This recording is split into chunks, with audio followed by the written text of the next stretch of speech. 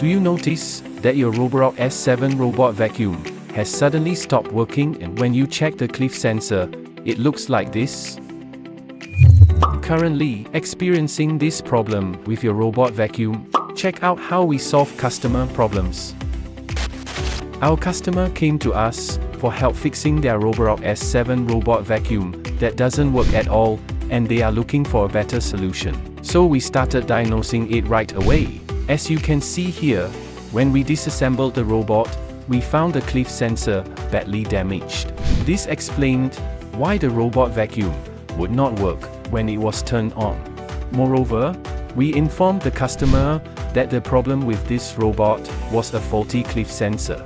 So we suggest a cliff sensor replacement. But that's not all. Look at this fan suction, full of dust. The internal robot was filthy. So, we also suggested a deep cleaning service to restore its glory. After obtaining approval from the customer, we begin the process of repairing the robot.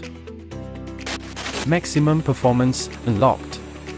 Now your robot vacuum can clean circles around your expectations.